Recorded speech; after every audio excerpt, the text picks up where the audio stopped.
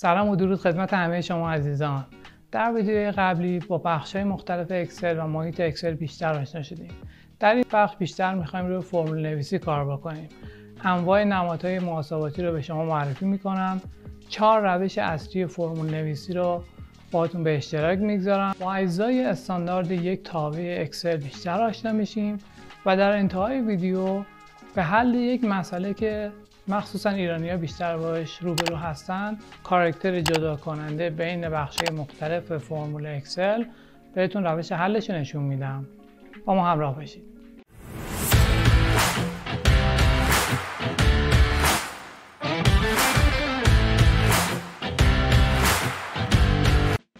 خب دوستان قبل از اینکه وارد بحث تخصصی فرمول نویسی و شهر همه فرمول را بشیم شما نیازمند اینه که یه سری اطلاعات ابتدایی رو بدونید که توی فرمول نویسی استفاده میشه.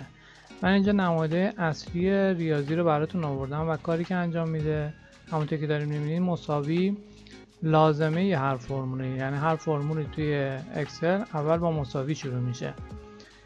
پلاس یا همون به علاوه که عمل جمع انجام میده دش علامات منفی همون عمل تفریق رو انجام میده. اسلش عمل تقسیم رو انجام میده و علامت ستاره هم ضرب رو انجام میده. علامت کرت یا همون که دکمه شیفت رو می‌گیرید و در واقع نامبر 6 رو انجام می‌دید باعث توان و به توان رسوندن اعداد میشه و همینطور پرانتز که اولویت ها رو مشخص می‌کنه. همونطور که می‌دونید توی ریاضی کامپیوتر معمولا اولویت اول با ضرب و تقسیم هست و بعد جمع و تفریق و اگه شما بخواید این ترتیب رو عوض کنید باید حتما از پرانتز استفاده کنید. و کالن هم برای محدوده هست. حالا بهتون توضیح میدم در این مثال چجوریه. اول اینکه شما بدونید که چهار مدل فرمول نویسی ما داریم توی اکسل. مدل اول اینه که شما بیاین داخل خود سلول مثل همینجا که من دارم الان انجام میدم تایپ کنید علامت مساوی رو بزنید. حالا مثلا به فرضاً می‌خواین دو رو به اضافه 8 کنید همینطور می‌تونید تایپ کنید دو به اضافه 8 که نتیجهش میشه 10 یعنی اینکه داخل همین مساوی رو بزنم و سلول اول که حاوی 8 هست به اضافه سلول دوم رو انجام بدیم و همون نتیجه رو می‌گیریم. خب این روش اول بود. اما خیلی وقتا این روش توصیه نمیشه. چون الان شما یه جمع عادی داشتین انجام می‌دادید و حالا چون فرمولت هم این طرفی به سمت این ور داشت میرفتش زیاد مشکل براتون ایجاد نمی‌کرد. ولی یه موقع شما می‌بینید یه عددی یه مقداری رو توی خونه کناری دارید و یه فرمول طولانی می‌خوایم بنویسید. حالا به تجربه در آینده می‌بینید که این میفته در واقع ادامه فرمول میفته رو خونه بعدی. و وقتی شما می‌خواید خونه بعدی رو انتخاب بکنید با مشکل مواجه میشید. برای همین وقتی که می‌خواید فرمولای طولانی بنویسید توصیه میشه که شما در واقع به قول معروف بیاین همین کار رو توی نوار فرمول بار انجام بدید. که من اینجا رو پاک می‌کنم. همون کار اینجا انجام میدم. می‌ذارم مساویه خونه اول علامت اضافه خونه دوم. و این هم کار بر ما انجام داد. خب حالا در واقع اینه که ما انجام دادیم. دیدین جمع چطور انجام میشه؟ همینطوری برای علامت تفریق هستش. علامت تفریق بین دو چه شیش. همینجور برای علامت تقسیم هست 8 اسلش دو یعنی 8 تقسیم بر دو میشه چهار. برای ضرب همینطور داریم مساوی خونه اول ستاره خونه دوم. و همینطور برای توان خونه اول علامت کرت خونه دوم. و برای تقسیم هم که گفتم براتون می‌خوام مثال بزنم مثلا ما می‌زنیم مساویه مثلا خونه اول داخل پرانتز به اضافه خونه دوم پرانتز رو میبندیم ضرب داره حالا مثلا خونه بالایی.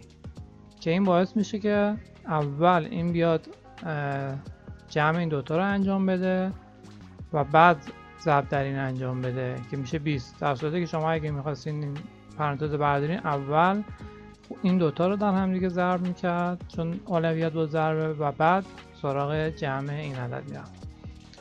خب این دو مدل اول روش تایپ فرمول رو که خدمتتون عرض کردم یه روش دیگه هم که وجود داره اینه که شما توی tab فرمولا برید و اینجا Insert Function رو بزنید function هایی که در واقع اکسل داره همه اینجا هست. اگر شما این گزینه رو روی All بذارین کل function ها براتون ردیف میشه و می‌تونید شما این بالا search هم بکنید. مثلا من می‌زنم SUM و دکمه گو رو می‌زنم. می‌بینید سامو از پایین پیدا کرد. و شما سامو که انتخاب می‌کنید یا هر فرمول دیگه ای شاید بیشتر برای دوستانی که هنوز به فرمولا خیلی مسلط نشدن این کار خوب باشه. سرعت کار کم می‌کنه ولی براشون کمک هست. خودش داره میگه میگه خونه اولتون که توی سام می‌خواین استفاده بکنید کدومه؟ من میام این انتخاب می‌کنم. میگه حالا خونه دومتون کدومه؟ تو این گزینه سوم. این انتخاب می‌کنم. و می‌بینه که اتوماتیک خودش خونه های بعدی هم براتون امکان انتخابش می‌ذاره. یعنی اگه من بخوام همینجوری خونه های بعدی هم دستی اضافه کنم. همونجا هم خیلی جالب نشون میده که قبل از اینکه شما بخواید OK بکنید جمع این دو خونه شده ده. که اگر من OK هم بکنم اینو در واقع جمع انجام میده. حالا این چرا اینجوری شد؟ بخاطر اینکه فساد فرمول قبلی ما داشتیم می‌کنیم حالا من اینو پاکش می‌کنم. روش بعدی هم اینه که باز شما اینا یه سری دستبندی هست که به تجربه دستتون میاد که در واقع هر فرمولی که دنبالش هستین کجا قرار داره. و می‌تونید فرمولتون مستقیما اینجا انتخاب کنید به که از اون ور برید. نتیجه مشابهی میده. حالا مثلا من تو همین خونه که کلیک کردم توی گروه ریسنت یوز ها همون سامو انتخاب می‌کنم. می‌بینید که دوباره همون گزینه قبلی اومد. خونه اول خونه دوم جمع ده. که اینو برای ما محاسبه کرد و اینجا نشون داد. خب حالا اگه بخوایم بیشتر با محیط فرمول نویسی یا همون توابع اکسل آشنا بشیم هر فرمول اکسل چند تا بخش اصلی داره؟ بخش اولش که همون مساویه یعنی حتما هر فرمولی با این مساوی شروع میشه. و بعد نام تابع که اینجا به طور مثال ما مثلا من تابع IF آوردم نام تابع. IF هستش یک پرانتز باز و پرانتز بسته در مقابلش قرار می‌گیره و درون آن آرگومان های تابع رو ما قرار میدیم. جزء سوم میشه ورودی های اجباری. الان اینجا بخش اول logical test value if true و value if false اینا همه ورودی های اجباری هستن. یعنی شما اگر در هنگام فرمول نویسی هر کدوم اینا رو وارد نکنید با پیام خطا ما روبرو میشید. و عنوان بعدی هم که هستش کاراکتر جدا کننده هست که اینجا به طور معمول همون کاما یا ویرگول هستش که استفاده میشه. و اگر که حالا توی این فرمول نداریم تو فرمولی که بعدا باش آشنا میشین و آموزشش رو می‌بینیم براکت داشته باشه یعنی آرگومان بعدی داخل براکت باشه یعنی نشونه اینه که اختیاریه. می‌تونید اون رو وارد کنید می‌تونید وارد نکنید بستگی به استفادهتون داره. اما مسئله که خیلی از دوستان دیدم باش برمیخورن و از من سوال می‌کنن اینه که توی سیستم اونا این حالا علامت جدا کننده ویرگول نیست سیمیکالن یا حتی یه کاراکتر دیگه ای هستش که رو کیبورد نمی‌تونم پیداش کنم و عملا نمی‌تونم مستقیما فرمول نویسی کنم حالا ما چجوری می‌تونیم اینو تغییر بدیم که الان خدمتتون آموزش میدم؟ دوستان قبل از اینکه ادامه آموزش رو داشته باشیم برای اینکه افراد بیشتری بتونن توی یوتیوب به این ویدیو دسترسی پیدا کنن حتما این ویدیو رو like بکنید. اگر سوالی دارید حتما در قسمت کامنت ها بگذارید تا من بهشون پاسخ بدم. و اگر هنوز ما رو subscribe نکردیم حتما این کار رو انجام بدید و زنگوله رو رو حالت All قرار بدین تا به محض تولید ویدیوهای جدید بتونید به اونها دسترسی داشته باشید میریم ادامه آموزش داشته باشیم. البته قبل از اینکه بریم تنظیمات رو بهتون نشون بدم همینجا تا خاطرم هست.